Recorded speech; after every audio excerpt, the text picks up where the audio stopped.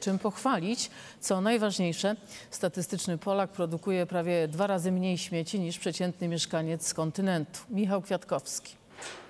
Z 350 kg śmieci, jakie rocznie produkuje statystyczny Polak, 210 udaje się przetworzyć. Część gnije, część płonie, reszta jakieś 90 kg trafia z powrotem na rynek. To bardzo ważne, 90 kg. No jeżeli już mamy segregować, no to odpowiednio, no bo inaczej to w ogóle nie warto. Siła lenistwa bądź przyzwyczajenia z czasów, gdy wszystko lądowało w jednym koszu, wciąż jest duża.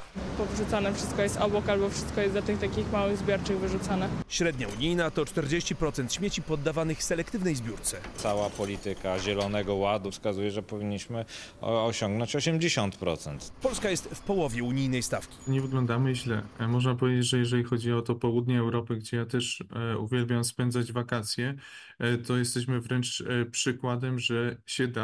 Średnią zawyżają domy jednorodzinne. Segregacja jest idealna, wzorcowa wręcz powiedziałbym. Zaniżają blokowiska. A trochę więcej pracy mamy w tym zakresie, albowiem tam odpowiedzialność jest zbiorowa. Ale złą robotę robią też producenci wbrew gorliwym zapewnieniom o ich miłości do planety.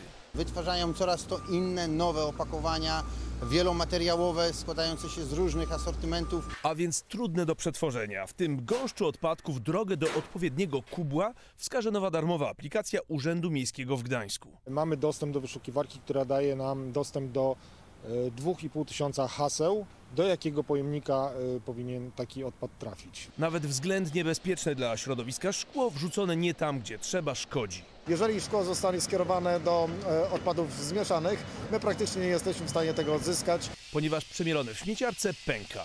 Pracownik może dotknąć tylko i wyłącznie tego szkła, tej butelki słoika, które jest całe. Ale jest i druga strona medalu. Jednym z największych oszustw cywilizacji rozbuchanego konsumpcjonizmu jest wiara, że wystarczy wrzucić odpady tam, gdzie trzeba, żeby uratować planetę. A rzecz w tym, by powściągnąć zakupowe szaleństwo. Co roku Europejczycy wyrzucają ponad 5 milionów ton ubrań. Ich stosy rosną potem w Afryce, z dala od naszych oczu i nosów. Unia walczy z tak zwaną szybką modą, lecz robi to niemrawo. Najbliższe lata pokażą też, co wyjdzie z przyjętej w lutym dyrektywy ułatwiającej naprawę zepsutego sprzętu. Michał Kwiatkowski, Wydarzenia.